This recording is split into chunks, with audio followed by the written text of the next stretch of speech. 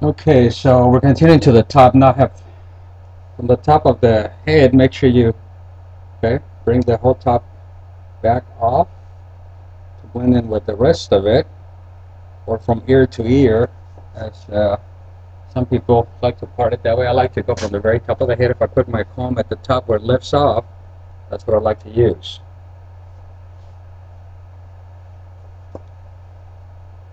So again, let's run that off.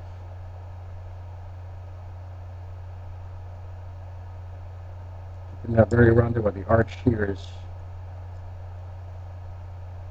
Same technique, just keep bringing the sides to the center.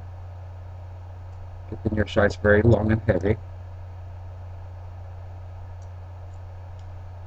If you get to the sides, you can actually grab a little bit more here, depending on what you can manage with your hands. Some people have smaller hands, other people have bigger hands. I can usually manage a little bit more because I have these big manly hands.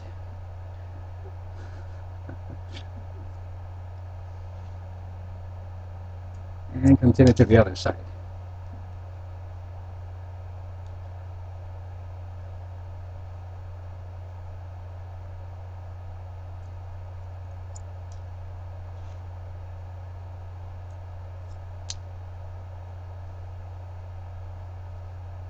So let me tell everybody out there, the real reason I started doing this because I got inspired by Ellie from Hair Burners.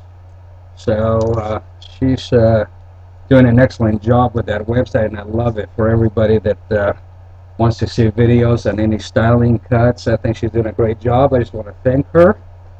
And uh, this is the back of that A-line. Okay, I'm going to finish the cut, and I'm going to go ahead and blow it out.